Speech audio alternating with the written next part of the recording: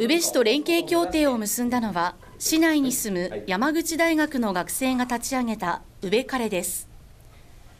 学生同士の交流で感じた市が抱える課題の解決を目指し今年4月に設立されました。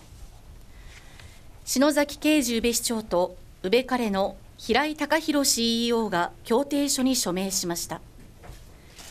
宇部カレは市が持つ医療や教育などの特徴を生かしながら事業を展開し若者が主体的に新しいことに挑戦できる社会の実現を目指しています。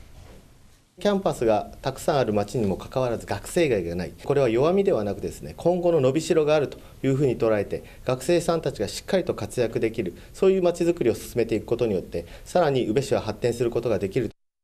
この町で今必要なのは学生若い世代が自分たちで何かを作りそこで自分たちで利益を得てそれを自分たちの仕事にして自分たちで生きていくとそういったスキーム仕組みづくり文化づくりをすることが必要だと思っています